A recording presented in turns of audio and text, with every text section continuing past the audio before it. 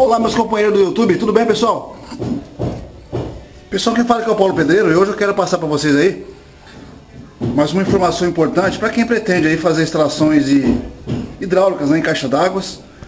Estou com uma caixa aqui pessoal, é 500 litros e não foi eu que instalei essa caixa aqui em cima, tá? Quer dizer, ela foi colocada em cima dos estrados aí, ó. Desculpa. E essa é a forma correta que a gente trabalha, tá? É importante que a gente verifique se não há nada embaixo dela, como prego, pedra, alguma coisa que possa furar mesmo com o peso do, da água depois, né? É, é isso mesmo, 500 litros, né? Deixa eu tentar mostrar para vocês aqui. Apareceu o fabricante aí, mas tem jeito de esconder, né? Aqui também tem uma norma aqui que fala NBR 14799. Pessoal, é o seguinte, é, qual que é o intuito desse vídeo aqui? Pra quem já está acompanhando aí os trabalhos que eu estou fazendo numa residência, e também, né pessoal, não foi eu que fiz essa cobertura, tá? Já está pronto. E aqui eu deixei todos os cantos para cima, inclusive naquele canto lá, pessoal, lá naquele cantinho, ó. Ali eu deixei a ponta do tubo da, da válvula de descarga, né?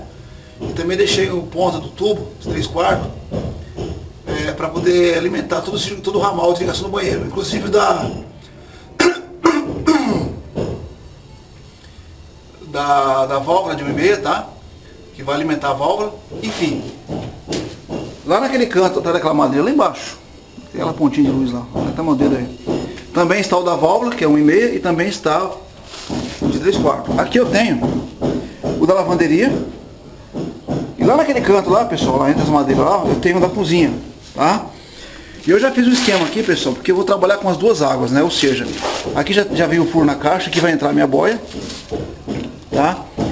E lá embaixo eu vou pegar, o rapaz até batendo lá de ontem, para nós passar já o tubo que vai alimentar essa caixa d'água. Inclusive eu vou passar, aproveitar o buraco, fiz um pouco maior, né? Porque a tijolinha para ir muito dura. Eu vou aproveitar e vou, vou separar dentro do buraco, né? Que algumas pessoas falam que não pode passar. Eu acho que é porque vai pegar fogo na caixa d'água, né? Na, na caixa d'água, no cano, né? Mas enfim. E vou trazer junto também, já para aproveitar o corte, deixar o conduíte da parte elétrica, vou trazer o cano que vai alimentar essa caixa d'água, tá? Eu já fiz alguns desenhos aqui, pessoal, tá? Eu confesso que não é fácil a gente programar o que vai fazer, tá? Tem que ter bastante paciência, coragem. Fiz dois desenhos aqui, tá? Inclusive esse aqui eu vou desconsiderar porque não vai dar certo por conta de que eu vou acabar, né?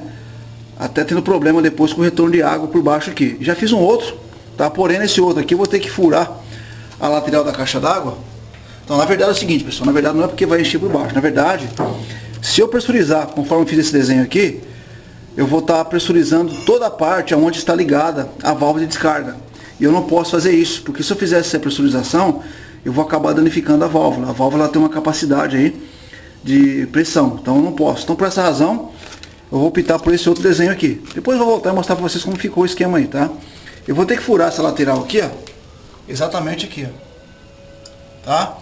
E vou pôr um cano e vou trazer ele mais ou menos até um metro para cá, tá um pouco menos.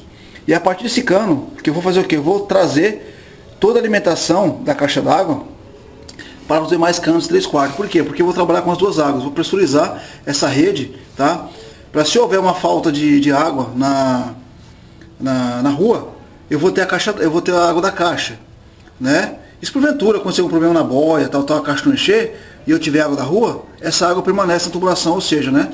Só vai acabar mesmo se, infelizmente, aí secar tudo, né? Mas nesse caso eu vou ter aí as duas águas trabalhando dentro dessa tubulação, tá? Tanto em todos os pontos, tá? Por essa razão que esse esquema que eu fiz aqui, eu não posso fazer ele, esse daqui, ó, porque se eu fizer isso aqui, e eu colocar, ah, mesmo que eu pôr a válvula de retenção, eu vou estar o que? Pressurizando a válvula lá embaixo, eu não posso. Então eu optei, né? Estou aqui faz quase uma hora já, marcando os materiais aqui. E cheguei na conclusão que essa é a forma correta, tá? Vou puxar um tubo de, 3, de 1,5 ali.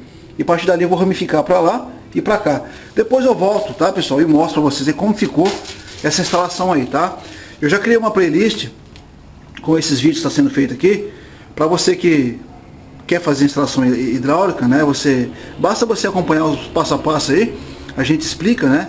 Eu, na verdade, o meu passo a passo é mais explicação, tá? Porque entre lixar um cotovelo, lixar uma conexão, né? Um, um T, Isso é básico, isso qualquer pessoa sabe que nós devemos cortar o cano no esquadro, né, o tubo, e lixar ambas as peças e utilizar o adesivo plástico correto.